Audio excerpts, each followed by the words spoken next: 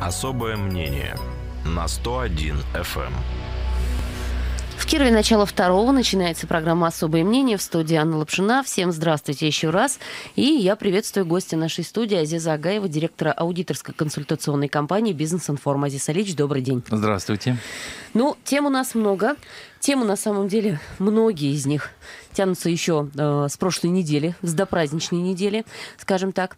Мы Азиза Агаева пытались подключить э, в наш эфир, когда разбирали э, историю со скандалом, я бы так сказала, вокруг форума предпринимательства на Вятке, который стартует 21 мая. По времени не успели, была горячая очень программа, поэтому я Азиза Ильича попрошу прокомментировать это сейчас. Слушателям нашим коротко напомню фабулу. Деловые объединения Кирова отказались войти в оргкомитет форума в этом году. Несколько деловых объединений по причине того, что к моменту, когда вам предложили войти в оргкомитет, уже было ясно, что подрядчик, который будет проводить мероприятие, уже выбран, уже выбран.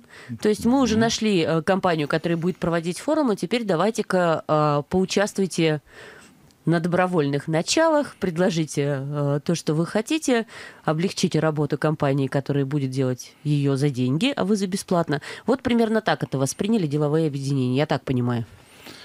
Ну, что сказать? Была обида?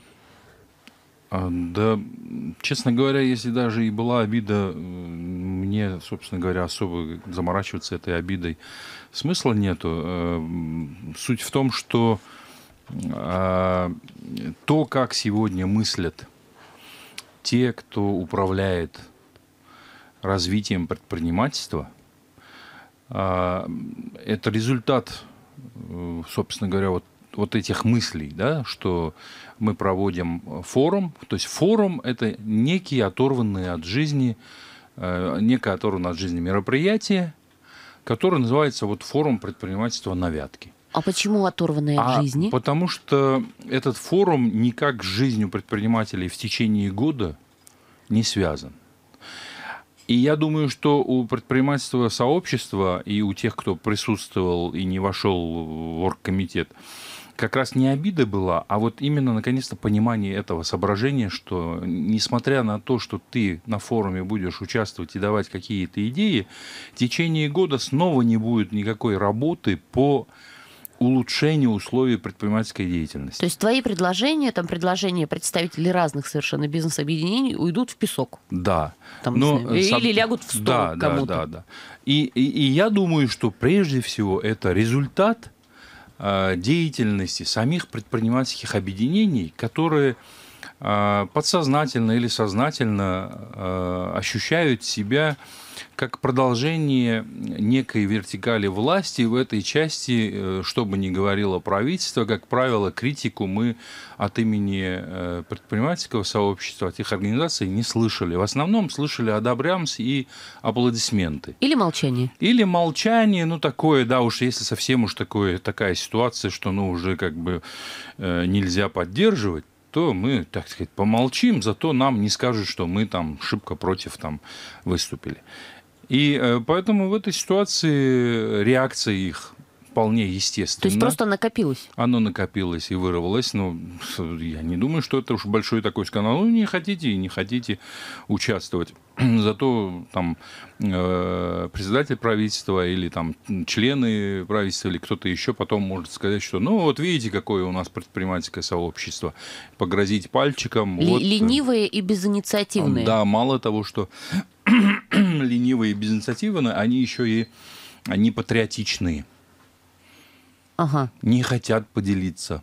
То есть компания из Татарстана, э, которая будет проводить форум патриотичная, Она а более кировские... патриотичная, потому что ее патриотичность куплена, если так можно выразиться, за миллион рублей. Ну, миллион рублей – это средства, которые выделены на организацию форума. Да, поэтому угу. с этой точки зрения все понятно. Я хочу просто сказать, что на самом деле форум предприятия на Вятке должно быть итоговым, года, итоговым за год мероприятием, Э, которым предшествует в течение года большое количество мероприятий по улучшению предпринимательского климата То есть это не обязательно должны быть образовательного характера мероприятия? Не обязательно. Это угу. должны быть масса других мероприятий, о которых все должны там громко слышать. Это должна быть э, работа, в том числе такая, которую раньше делал, например, Вавилов по спасению тех инвестпроектов в лесном значит, э, комплексе. комплексе, которые, так сказать, только-только пришедшее там правительство пыталось там, члены правительства пытались там, ну, задушить, можно так как бы сказать. Я да, напомню, Андрей, Андрей, Андрей Вавилов, да. это а, э, экс-уполномоченный по защите прав предпринимателей да, в Кировской да, области. Да, да. Да. И в итоге мы получили... Речь идет о периоде, когда да, менялась власть. Да, и, и в итоге мы получили, например, проекты, которые теперь сам губернатор хочет, ходит и представляет как вот суперпроекты, там,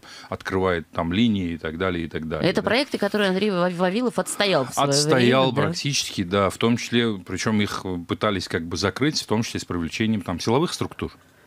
Вот в чем как бы заключается. И вот такие мероприятия должны проходить не праздничные, не торжественные, а каждодневные, банальные, ежедневные, как это, ну как это сказать-то, обыденные мероприятия по улучшению предпринимательского климата, чтобы предприниматель понимал, что его кто-то защищает должны проходить каждый, ну, каждую неделю, там, каждый месяц, если хотите. Ну, не знаю, там, ну, как бы вот ежедневном режиме. Ну, то есть просто э, семинара, например, с представителями налоговой и разъяснение э, прав предпринимателей недостаточно. Недостаточно. Недостаточно. Например, э, мы с вами раньше говорили, что, ну, вот сменили э, Чарушину Светлану на э, Смехова. Дениса Смехова. Дениса, угу. да. Что изменилось? Э, руководителей налоговой мы имеем в виду областной. А мы сегодня угу. видим, что э, ситуация продолжает оставаться такой же напряженной. Серьезно? Спускаются сверху э, Цифры? Значит, то, что нужно... При, Показания? Э, Пока, то, показатели? Показатели, то, что нужно э, применять, значит, какие новые трактовки для того, чтобы отжать достаточно снова большое количество там, а, налогов. Там. А то есть курицу э, продолжают ощипывать? А, ну, однозначно. Угу. Сейчас еще есть вещи, которые до Кирова там не дошли, но мы уже видим в арбитражной практике России что несмотря на то, что налог на э, значит, движимое имущество там отменен, появилось новое, не гражданское, как бы не толкование гражданского права, а толков... новое налоговое толкование такого понятия, как недвижимое имущество. Оказывается, что что если движимое имущество, оно друг с другом тесно связано и может работать только вместе, это уже недвижимое имущество? То это уже недвижимое имущество. И на основании этого людям доничисляют налоги на имущество и привлекают к налоговой ответственности. Ну, то есть, Чем таких... денег в стране нет совсем, я так понимаю. Денег в стране полно, но почему-то э, верхи продолжают э, э, ощипывать э, курицу, у которой уже не осталось перьев. То есть они щиплют-то уже кровь, как бы кожу там и так далее, и так далее. Поэтому э, что можно в этой ситуации как бы сказать? Ничего. Так, Азиз Ильич, вот какой вопрос у меня. Две минуты у нас до перерыва, я все-таки его задам. В форуме предпринимательства на Вятке, который пройдет э, в этом году в том формате, да. который был заявлен, в течение недели, да. с 21 по 27, по-моему, мая, вы участие будете принимать? Я не буду участие, я последние три года не принимаю участие. То есть вы даже как участник туда Я не даже пойдете? как участник не пойду, потому что какой смысл? Ну, смысл какой? То есть, что сделать? Э, перед кем выступить-то? То есть, ну, ну, выступаю я вот как бы на, на эхе Москвы, угу. да, вот, ну, что, после наших выступлений было, так сказать, очень много там приглашений, что давайте мы, ну, единственное, что мы помним министра Абашева, который сказал, что Азиз Алиевич, вот давайте, если хотите, вот у нас будут разрабатываться, мы можем там поучаствовать, там какие-то, потому что мы с вами, помните, да. слышали, что идет мощное давление на тех, кто занимается добычей недр угу. под вывеской, значит, э, борьбы за законность. Но на самом деле под этой вывеской уже давно идет борьба с предпринимательством, и в результате мы получаем только то, что если раньше, там, например, в стране 16 миллионов человек, можно по всей стране, могли считаться людьми э, достойного уровня жизни, да, там уровня жизни там Европы, там Соединенных Штатов. Сейчас так уже осталось средний класс. Да, да, таких Или... осталось угу. 6 миллионов из 140, э, значит, в, впервые началось снижение населения там э, России, потому что перестали люди верить, как бы они перестали рожать, так сказать, и э, количество... А кто-то уезжает. А кто-то уезжает. Поэтому тут вот как бы ситуация такая, что... Э, поэтому, когда вы говорите «пойду», нет, не пойду, потому что а какой смысл? Ведь э, когда мы начинали эти форумы, основание этих форумов, ну, наверное, слышали один из участников, э, значит, во время вашего эфира дневного разворота, сказал, что первый форум провел, проводила Лига предпринимателей. Угу. И, Андрей, Андрей Маури это да, сказал. И, и формат у нас был э, тогда такой, что... И, и я тогда был председателем правления Лиги предпринимателей Кировской области. И формат у нас был такой, и это было Белыху прямо э, предыдущему губернатору заявлено, Никите что Белых. мы э, прорабатываем все предложения, мы находим самые актуальные, самые системные э, проблемы, три, максимум четыре таких проблем, и мы в течение года их должны разрешить. И к конце года на следующем форуме, помимо того, что ежедневно мы делаем, мы должны всем объявить, что в итоге, в итоге в течение года эти проблемы либо разрешены, либо нет. Если нет, то по какой причине, а разрешены теперь... То есть это был бы серьезный вклад в улучшение предпринимательского климата. А такого нет. А такого нет. А смысл какой? Ну, ходить, показывать, что ты умный. Кому? Я думаю, это и так все знают. Кому? То есть поэтому масса людей, которые вот э, э отказались там э, умных людей, да, там, и, там, Но они, они отказались, смотрите, они отказались участвовать в оргкомитете, а на форум, тем не менее, они собираются. На форум пойти. собираются. То есть не ну, полный игнор. Но я думаю, что это их начало, их движение к тому, что полностью поставить на игнор любые мероприятия правительства. Если они не изменят формат. Если они не изменят своего подхода к развитию предпринимательства. Азиз Агаев в нашей студии, директор аудиторской консультационной компании «Бизнес-информ» и заместитель председателя Кировского союза промышленников и предпринимателей, если я не ошибаюсь. Да, все еще пока. Да, у нас перерыв небольшой полминуты, и мы вернемся. Особое мнение на 101 FM. Это программа «Особое мнение» в нашей студии Азия Сагаев, и мы продолжаем. Еще немного о форуме и о том эфире, который был у нас по э, итогу вот этого демарша, да, бизнес-объединений, когда они отказались принимать участие в оргкомитете мероприятия. Э, была в нашей студии, ну, помимо представителей э, предпринимательских объединений, то есть вот Андрей Маури у нас был, Николай Липатников у нас был на связи, Владислав Попов, уполномоченный ныне по защите прав предпринимателей, была Наталья Михайловна Кряжева, министр экономического развития и поддержки предпринимательства, по-моему, так у нас сейчас да, министерство называется. называется да. да. И на Наталью Михайловну, честно говоря, тут, конечно, вылилось много негатива, ей было э, сложно, она была одна, она была женщина, наверное, тяжело в такой ситуации там отбиваться, да. Вот. Э, негатив э, был, э, наверное, все-таки по существу, то есть были претензии в некомпетентности даже, вот так прозвучало. Угу. Вот какие Вы требования подде- системы... Поддерживаете вот, не вот поддерживаю, Не поддерживаете? Не поддерживаю. В, в, в этом случае я могу морально поддержать только Наталью, как бы, вот, вот в этом вопросе. А, значит, почему? Потому что если система требует сейчас таких подходов, то у нее не может быть, если у Натальи будут другие подходы, она там... Она там работать не будет. Понятно. Вот, то есть, э, еще раз напоминаю, во время одной из встреч, где вот Светлана, кстати, присутствовала, Занько. Э, значит, Наш главный редактор. Да, угу. когда обсуждали там э, программы поддержки предпринимательства, как одной из прорывных там программ. Там, э, нацпроект, по-моему, так это называется. Да, да, да, угу. нацпроект. Значит, и, и там э, предлагали Э, в качестве критерия э, посчитать количество вновь созданных там э, ИП, ИП угу. и там, субъектов малого угу. предпринимательства. Угу. И вот это было бы показателем, что все работает хорошо. Системе требуются такие показатели. То есть нужны цифры? Отчетность. Нужны цифры. Цифры сухие, тупые, никчемные, никому не нужные цифры.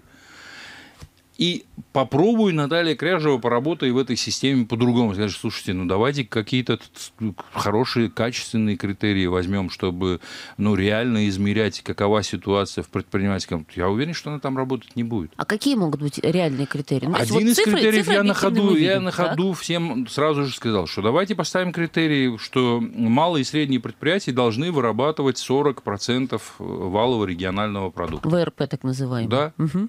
Пожалуйста, какому мне моменту, какая разница? А, Азиз Алич, мне какому моменту разница? они должны вырабатывать 40%? К какому а году? А давайте посчитаем. Это стратегический вопрос. Это надо просчитать и сказать, через какое время мы достигнем. То есть не так, что вот там 30-е годы уже и, и хан умрет, и Шак, и, значит, и переводчик. То есть это должен там. быть обозримый да. период. Это должен обозримый. Если ты не можешь в обозримом периоде ничего не сделать, освободи кресло-то. Ну зачем ты? Ты и так уже в Москве. Освободи кресло и уезжай. Пусть другие придут, кто в обозримом будущем так, будут это вы сейчас, у нас. Вы сейчас про это кого? я про губернатора ага, сейчас. Игорь Васильев. Да. Угу. А все должно быть в обозримом будущем. То есть, потому что, чтобы мы не размышляли так, что, ну, ну, к тому времени будет другой губернатор, и что там будет, ха-ха-ха. Угу. Понимаете? Вот. Поэтому в этой ситуации не поддерживаю абсолютно. Система требует таких людей. И таких людей утверждает законодательное собрание. Вот посмотрите э, заместители губернаторов. Вот посмотрите по Кочеткову ситуацию. Там, да, где он?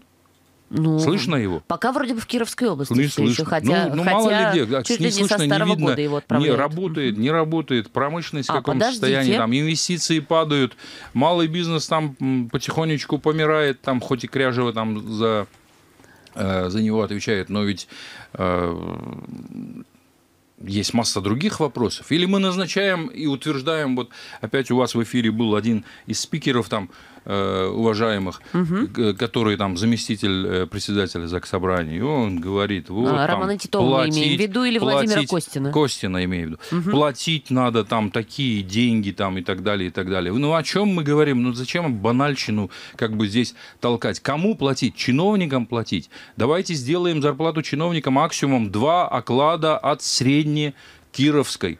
Максимальная зарплата сейчас должна быть у чиновника, чиновника у губернатора. А у губернатора, губернатора максимальная должна быть 50, 50 тысяч. 52 тысячи. Угу. И, Максима и Кочеткова его... назначили да. торговым представителем России в Казахстане. Вот видите, вот и все. Вот, пожалуйста, кто голосовал за Максима Кочеткова? Кто голосовал за вице-губернатора там Плитко? Значит, только потому, что у него были погоны? Ну и что? Погоны-то были, а как управлять как бы областью у многих компетенций не хватает. Мы э, господина Плитко э, пытаемся пригласить в студию Понимаете? и вот все-таки выяснить. И, и, и много других э, такого угу. уровня там вопросов. И кто это делает? Это делает законодательное собрание. И сейчас рассуждать, что Кряжева там еще чего-то, что ну вообще там и так далее. Вы систему-то измените. Вы сами-то столько заместителей в законодательном собрании. Кому они нужны? Вы сами-то хоть стали и выразили недоверие правительству за то, что оно уже три года работает, это правительство, под, во главе с этим губернатором, и до сих пор не выработал программу развития социально-экономического Кировской области. Ну, не, кто-нибудь ну, у вас осмелится. Ну, Никто так, не осмелится, ну, а, а Ну, так тогда, тогда о чем мы, зачем мы, типа, не люблю никогда людей, которые бросают камень в тех, кто и так уже находится, ну, как бы в очень ограниченной ситуации. Чего мы бросаем камень на Наталье Кряжу? Давайте, ЗАГС собрание, депутаты, создайте группу по стратегическому планированию Кировской области. Сами создайте, войдите туда, возьмите туда экспертов, давайте мы в, э, в пику как бы правительству, кинем им на стол разработанную стратегию социально-экономического Вам развития эта ситуация кажется реальной а, в условиях а, ну, нынешнего соотношения сил, скажем так, в нашем законодательном собрании? Я... Даже, даже не учитывая тот факт, что многие называют ЛДПР, коммунистов, справедливую Россию Илья Муромец, картонные Илья Муромец тогда. тоже победил врагов, слез, э, э, сойдя с печки. Э, и много других героев значит, России. Есть в законодательном помним. собрании такой герой? Законодательное собрание. Среди вас есть вообще герои, кто любит свою страну или нет? Угу. Ну, я адресовал, наверное, ответить там кто-нибудь. Соседнее здание. Соседнее здание. АУ Азиз Агаев в нашей студии. А, время, к сожалению, у нас ограничено. Наверное, надо нам все-таки к следующим темам переходить. Я бы хотела вашего комментария по поводу а, возможного создания агломерации Киров-Слободской, Кирово-Чепецкой, как выясняется, частью Ульяновского района. Большой материал вышел а, на этой неделе в газете «Бизнес-новости» в Кирове. На прошлой неделе тоже был материал. Вам эта история кажется жизнеспособной и эффективной как способ развития Кировской области или нет? Когда при Шаклене мы разрабатывали, с нами участвовали Шедровицкий, Глазычев, и возглавлял эту компанию Лебедев, и еще один его друг был, который потом ККС работал, такой полужурналист, полу как бы, как-то забыл его, тоже умные люди были все. Угу. И они нам предложили теорию вот этого вот э, опустынивания Кировской области. Что вы имеете в виду опустынивание? Это их разработка. Вопрос агломерации. Агломерация – это часть теории опустынивания. Теория опустынивания это э, подразумевает собой, что в агломерацию будут съезжаться люди и да, из и остальных поэтому районов будет Кировской агломерация создаваться. Ведь результ... агломерация сегодня это результат того, что в окраинах и в деревнях и в поселковых центрах Кировской области жить-то невозможно становится. Условно Подосиновский, Верхнекамский, Луцкий. Поэтому люди тянутся сюда. И поэтому появляется ситуация, когда значит, э, мы, ну, я имею в виду тогда и предпринимательское, деловое сообщество, и руководители предприятий, и многие сказали, что нет, мы против теории опустынивания. Поэтому, э, но жизнь показала, что значит, э, эти теории с приходом идеолога этой теории, там э, говорят, что еще и любителя, так сказать, саентологии Рона Хаббарда Кириенко, эти теории начали снова поднимать, так сказать, голову. Значит, Не только применительно к Кировской области, не только что мы имеем применительно, Сергея да, да, да. Который Это по России в нескольких, во многих уровне. местах, Мгм. да, да, да, обсуждается, так сказать, такие агломерации там и так и так далее. А разве это не естественный процесс, Азиз Алич? Вот давайте посмотрим на Москву. Мы Посмотрите, видим. зачем на Москву? Да, посмотрите на Норвегию. Там, когда один хутор стоит где-то, и за счет, Норвегия маленькая, и за счет Россия государственных большая. денег Россия больше зарабатывает, больше качает нефти, чем Норвегия. Я про и могла бы и могла бы как бы э, делиться больше, значит, со страной. Вот, когда стоит, а у нас ведь не один хутор стоит-то. Там один хутор стоит, туда дорогу делают, асфальтовую, там интернет проводят Вот и все поэтому такое. я про а расстояние нас и сказала, Азиз Алич. У нас Кировская область по, по площади, наверное, как Норвегия. Нет. Я, а я имею в виду, что там к одному хутору, одному человеку, в одну семью тянут эту дорогу. Это в а у нас отношении- к это деревням, отношение к а у нас к деревням не тянут. Вот что я хочу вам сказать. Не надо мне про это, что Россия большая. Россия большая и богатая. У нас кроме нефти и газа есть бриллианты и много всего.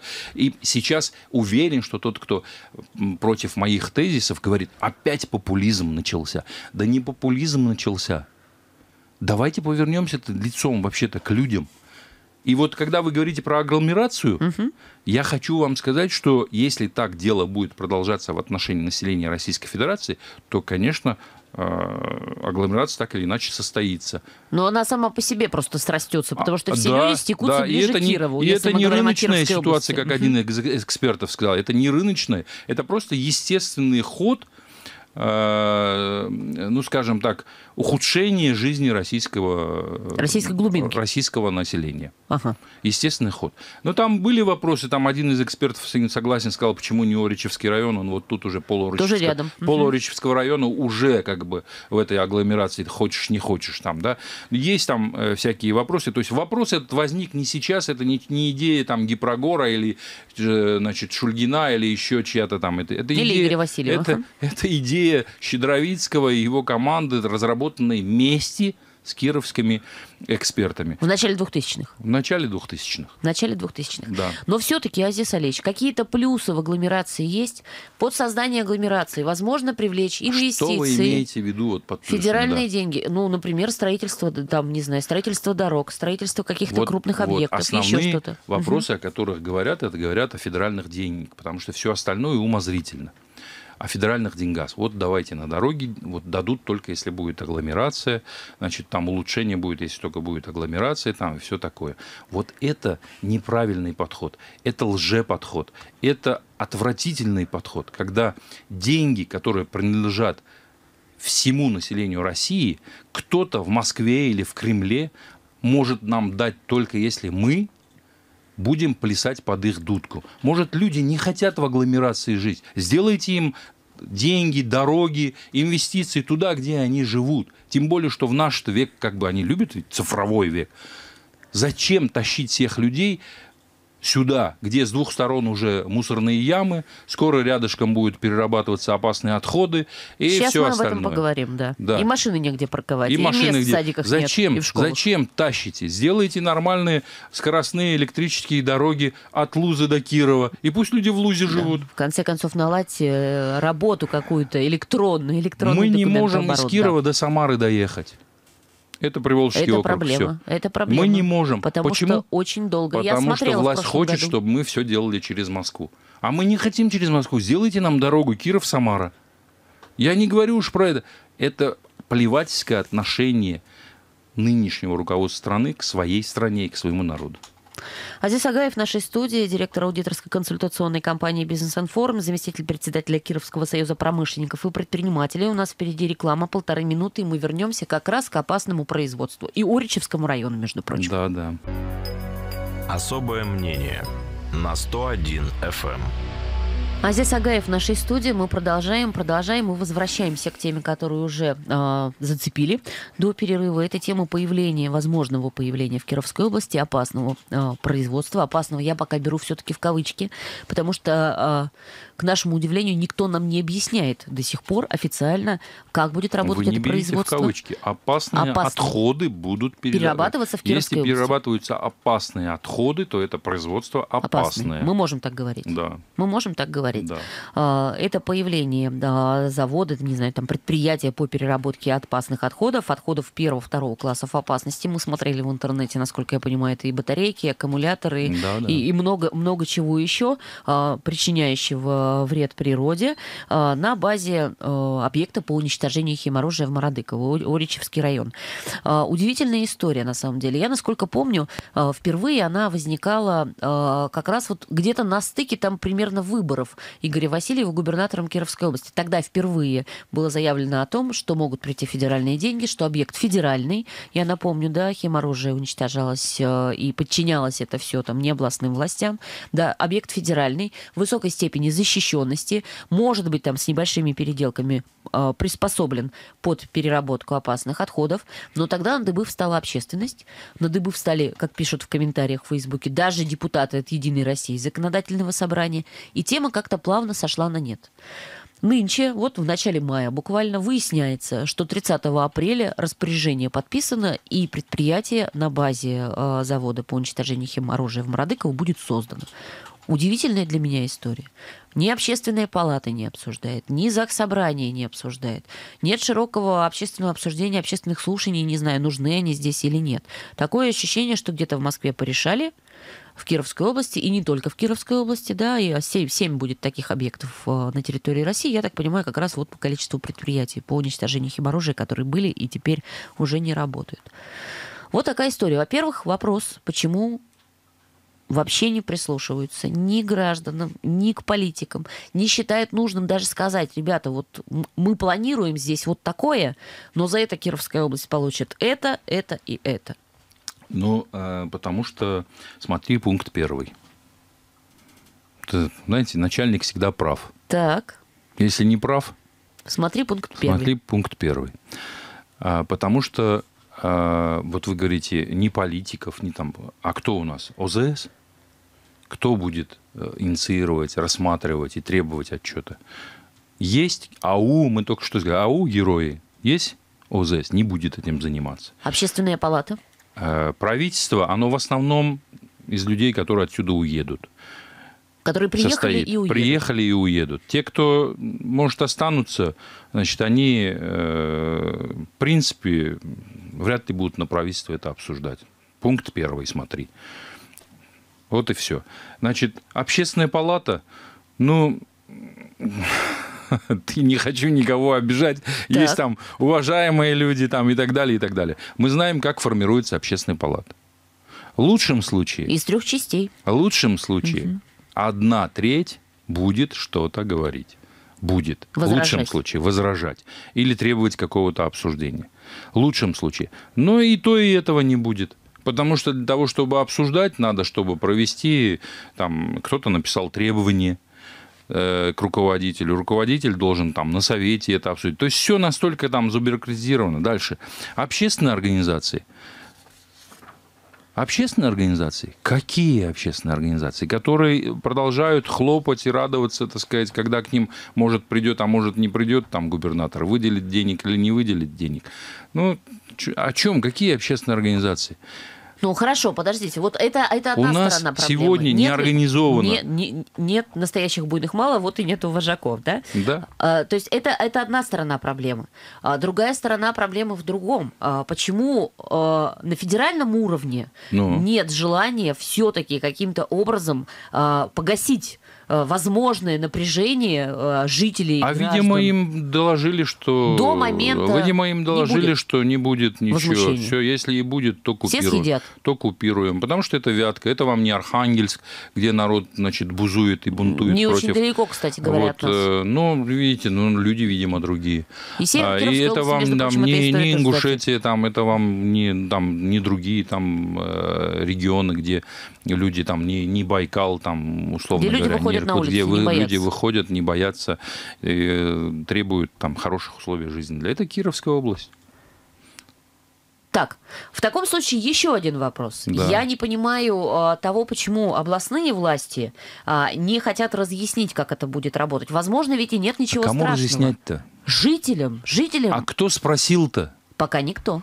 Ну так что, ну, А раз не спрашивают, спрошено, что? не спрошено, значит, что Можно объяснять-то? Да. На этой неделе, насколько я понимаю, общественная палата тему будет поднимать. Я надеюсь, что после этого будет какая-то ясность. Потому что вот мне все-таки кажется, что такие вещи нельзя проводить без обсуждений. Может быть, это Да, не, не, да точно не нельзя. общее обсуждение всех жителей области, да, но какое-то экспертное обсуждение должно быть обязательно. Должны быть представлены документы, которые удостоверяют, что не только на самом предприятии не опасным будет переработка и уничтожение этих отходов, но и транспортировка будет безопасной. Потому Конечно. что предприятие, ладно, оно закрытое. Конечно. А вот транспортировка, это же повезут со всей Вопрос-то России. ведь, вот я тут как-то слышал, вы, говорили про плюшечки по этому поводу. Да. Вопрос-то ведь не про плюшечки. А про что? Вопрос про жизнь и здоровье. Совершенно верно. Вот, потому что э, ты плюшечку-то съешь, и тут же умрешь от рака. Потому что происходит э, буквально через каждого, через одного человека уже как бы вот, э, вот такие вот такого рода болезни. Заболевание. Мгм. Понимаете? Вот и все. Вопрос в этом. Наплевать на эти плюшечки. Но я под, под плюшечками имела в виду как раз в том числе там достойное медицинское Да э, зачем достойное медицинское обслуживание больному человеку? Уже все. Ну, понятно, да. Понимаете? Может, спасут, а может, нет. Да. Азиз Агаев в нашей студии. Еще одна тема, которую, э, думаю, что мы успеем обсудить. Э, Я э, просила вас э, вчера заглянуть э, в обсуждение в Фейсбуке, инициированное руководителем Совета старших по домам города Кирова Валерием Семенищевым. Э, Речь идет о э, субботниках, которые прошли в Кирове э, перед майскими праздниками. Субботниках, на которые граждане выходили по собственной инициативе. И в этом году столкнулись люди э, совершенно, на мой взгляд, а, там, я не знаю, ну, э, слово идиотское можно в эфире говорить? да? Можно. Идиотской совершенно ситуации, когда люди вышли в свое свободное время, занялись а, благоустройством своего двора, собрали мусор. Это то, о чем мы говорили на протяжении многих лет, приучая людей не быть равнодушными. Ребята, вы здесь живете, ваше жилье не заканчивается дверью вашей квартиры, да? Присоединяйтесь. И люди выходят, вот худо-бедно раскачали, где-то люди выходят. Они собирают эти кучи мусорные, они собирают эти мусорные мешки, а потом раз, и выясняется, что компания Куприт не будет вывозить этот мусор без дополнительной оплаты. Мгм. Молодец, компания Куприт. Компания Куприт, я напомню, э, больше чем наполовину это муниципальное предприятие. И что? Как это и что? Город, Что? получается, не заинтересован в том, чтобы мусор после субботника А вы вывезли? кто, чтобы командовать городом? Я не командую, я вопросы Вот задаю. не хотим и все, и не прикажем Куприту, и не увезут. И вообще это почти частное предприятие, у них свои бабки. Платите.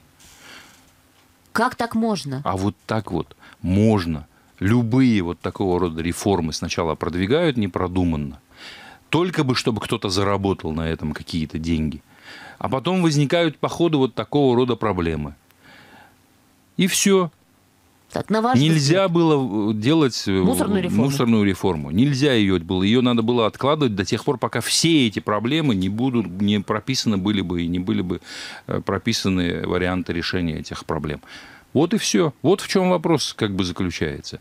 А с моей точки зрения, город должен стукнуть город- кулаком по столу. с, мо- с моей точки Кто? зрения, если город хочет, чтобы Куприту заплатили, пусть из бюджета платит. Не, ну город не может платить Пусть объявляют конкурс. А, а что это такое? Раньше ведь увозили управляющие компании. Ведь масса вопросов, которые раньше не возникали, Не возникали. они возникают сегодня. Почему? Потому что эти управленцы, которые пришли управлять городом, они не умеют. Я еще когда говорил, еще когда только-только говорили об этом, что у этих людей нет опыта управления территориями, нет опыта территориального развития. Это Нельзя. Мы про кого сейчас говорим? Про? Шульгина, про, его Илью команду, Шульгина. про. Елену Ковалеву, которую, так сказать, поставили главой города, которая, не знаю, то ли командует, то ли не командует, так сказать, э, городом. Кто командует? Почему Куприт не вывозит? А потому что это дополнительные расходы. Они экономически все обоснуют. Им никто не платит, они не вывозят. Вот Не, вам ну, ответ. Не, ну подождите, ведь город-то заинтересован в том, чтобы бы- были прибраны территории. Я а не кто вам понимаю. сказал, город заинтересован? А, город не заинтересован. Я Кто здесь, вам это сказал? Я Шульгин здесь сказал? в центре вам? города походила по дворам. а Шульгин лично сказал, что заинтересован, страшно. чтобы было Конечно. прибыль? Как? Ну как вот, конечно, мне кажется, да. Каждый день Нет, вам кажется, или он говорит. сказал? Я вот что-то в прессе не видел, что он сказал. Он может как бы что-то сказать, но после того, как скажешь, надо делать. Сказал, сделал. Вот настоящий мужской поступок. Сказал, сделал, но не сделал. Мусорная реформа, на ваш взгляд, провалилась или нет? Она провалилась. Есть масса вопросов по ходу, которые я считаю, что э, придется решать в интересах горожан, а не в интересах отдельной кучки бизнесменов, которые на этом хотят заработать. Я считаю, что провалилась. И провалилась только потому, что команда нынешнего губернатора делала это в аварийном порядке. То есть срочно- Ускоренном, срочно. срочно надо было принять. Где-то быть, видимо, в списках на первых местах. Что это нам дало, я вот до сих пор, кроме вот этих вот недоразумений, которые возникают, с оплатой, с полигоном, с, э, значит, э, уборкой городского мусора, с вывозом мусора из деревень там, и так далее, и так далее, ни к чему это хорошему пока не привело. Решить эту ситуацию как-то можно? Не в авральном режиме. Всегда можно. Надо, чтобы желание только было. Кто должен проявить политическую волю? А кто проявил волю, чтобы мусорная реформа проходила, чтобы все тарифы быстро были приняты, в том числе необоснованной? Надо полагать, что губернатор. Губернатор. Но губернатор у нас теперь в Москве большими вопросами занимается. Вот приедет барин, барин нас рассудит, барин сам увидит, что плоха избушка, и велит дать лесу, думает старушка. Азиз Агаев в нашей студии, директор аудиторской консультационной компании «Бизнес-информ». На этом особое мнение заканчивается. На этой поэтической ноте, как я хотела бы сказать, э, особое мнение заканчивается. На самом деле не на веселой ноте мы С хорошим Азизом днем, солнце на улице. прощаемся. До свидания. Хорошо хоть лето, да. И, и то хорошо. До свидания. До свидания. Особое мнение на 101 FM.